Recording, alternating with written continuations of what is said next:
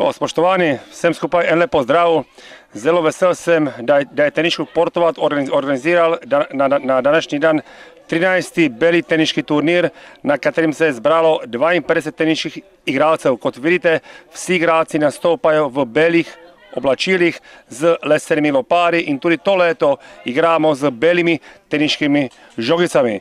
Vesel sem, da preditev Noč na Krki dobiva take razsežnosti, se pravi, da, da dobesedno živi cela loka. Na to sem zelo ponosen, ker je, ker je bil teniški klub Portovat eden od prvih, ki je začel s tem dogajanjem, se pravi z našim belim teniškim turnirjem. Evo med nami pa je tudi tekmovalka Belika teniška turnira Janja Idlošnik. Janja, kako se počutiš na našem turnirju? Vem, da hodiš vsako leto na beli teniški turnir, zato sem jaz ponosen. Kako se pa danes počutiš? Ja, odlično kot vedno, zato tudi vsako leto pridem. Bravo, zelo pohvalno. Kaj, na kaj si mogoče najbolj ponosna, kaj te najbolj vedno pritegne na današnji turnir? Ja, vedno me pritegne uh, veliko število sodel sodelavcev. Uh, zanimivo je, ker smo v lepih belih oblekah, vsi se trudimo z lesenimi lopari, ker niso nobenemu čist blizu pa vsako leto se naš Jerži spomni nek poseben dogodek. Lepo pozdravljeni na, na Loki, noč na Krki 2017 v novem mestu. O meni sta milicista Janez in pa milicist Franci. Ja, Lepo pozdravljeni obema, ja, dobrodošli. Ja, ja. Lepo zdrav, ja, dobrodošli. Ja. Kakšen je občutek prijeti na ja. tak dogodek?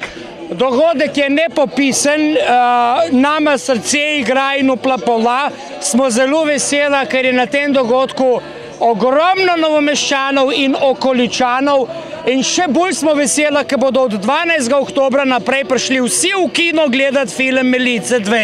Ja, ja. Ja, jaz sem tako tudi vesel, ker smo zdaj dobili to igrišče na Milki pa bo lahko eh, se šla midva, ki bo med malco igrati malo umilka, ne Franci? No, pa ne tu vse, imajo tudi tam un asfalt za kolesa. Ja, eh, jaz bom pa eh, na asfaltu se tudi igral. Ja, lepa reč, ne. Drugače pa tudi župan prišel, naš sponzor, ne, mestna občina Nov mest. Uh, pa kle so ra ansambli razni, oni imajo te muske in kar špilajo, pa te odbojke, pa te športne igre. Jaz mislim, da je to en krasen dogodek, ki bi se kar moral događati še leta in leta. Ne? Ja. Jaz znam se tudi s kolesom vazati. Zdaj, ki je tam steza, ki je kino tudi, ki bo film je oktobra, je zdaj steza, pa se bom jaz s kolesom vazil.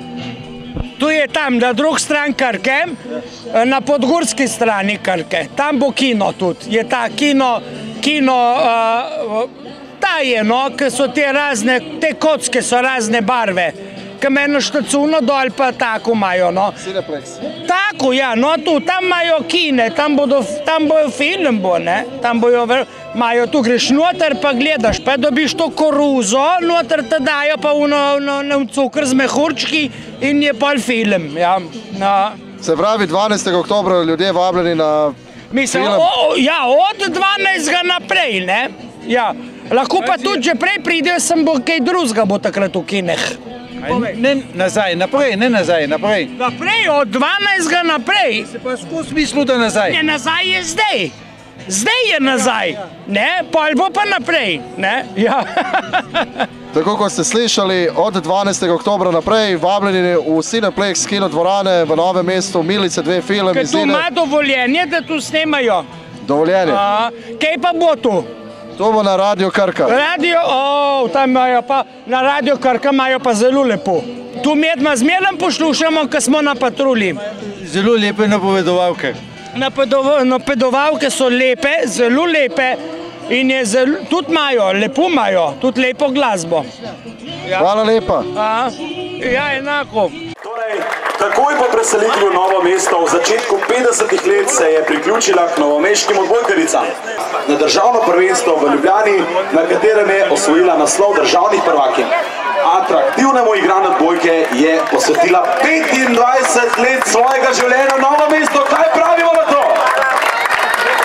Tako je. Bojan igralec, naslednji Brulec, dolgoletni igralec Novomeškega pionirja je bil član mladinske jugoslovanske državne reprezentance. Svoj največji uspeh pa je dosegel z jugoslovansko člansko vrsto, ki je leta 1981 na balkanskih igrah v Novem mestu osvojila zlato medaljo. Kaj pravimo na to Novo mesto?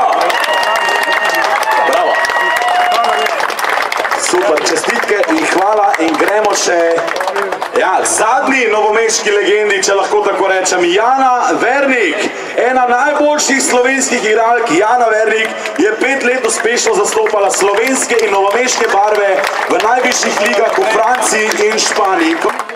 Drage novomeščanke, drage novomeščani, še posebej ljubitelji odbojke, danes mislim, da je res en športni, družaben dan ob naši reki Krki, v teh naših športnih parkih, na eni strani Loka, na drugi Portoval. Danes je dan, ko odpiramo novo športno infrastrukturo.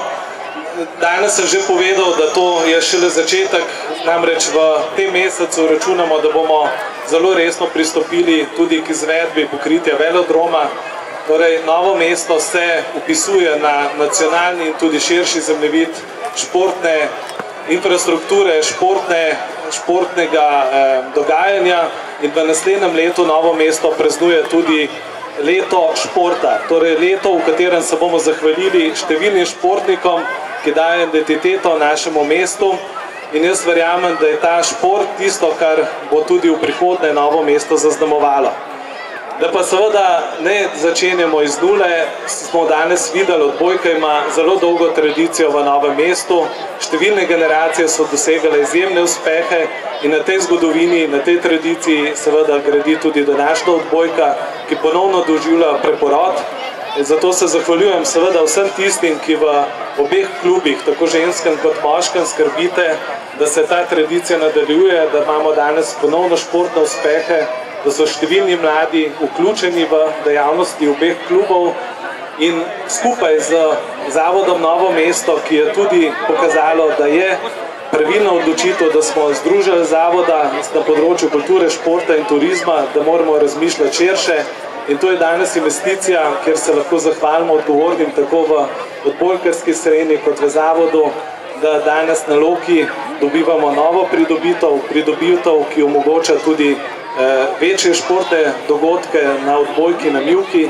In ravno odbojka na Mivki je tista, ki je v zadnjih letih tukaj privabljala številne mlade, ki so prišli na igrišča, ki so zasedali, dajali ton temu, temu koščku v Krki. Jaz želim vsem, da bo na tem igrišču veliko športnega dogajanja, veliko športnih uspehov in da bomo se dobili še na številnih dogodkih, ko bomo nadgrajevali novomeško športno infrastrukturo ter proslavljali novomeške športne uspehe. Srečno! To bo pomenilo tudi uradna otvoritev tega odbojkarskega igrišča. Samo sekundo še. Dragi navijači, da pa bomo to res dobro otvorili tudi, ne? potrebujem tudi vašo podporo, tako da gremo roke naprej, vsi skupaj roke naprej damo, roke naprej, roke naprej, tudi na drugi strani, roke naprej, gremo, mora biti uradno, ne, torej, opa,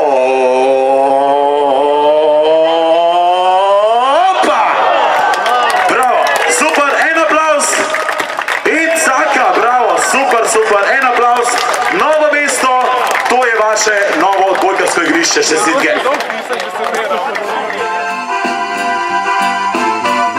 Policist Franci, milicist, milica Franci.